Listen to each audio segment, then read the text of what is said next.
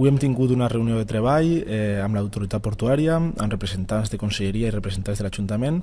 per donar un passet més per aconseguir l'FP marítim pesquer que durant tants anys hem reivindicat al grau. Considerem que aquesta actuació, aquesta implantació d'aquesta família nàutico-pesquera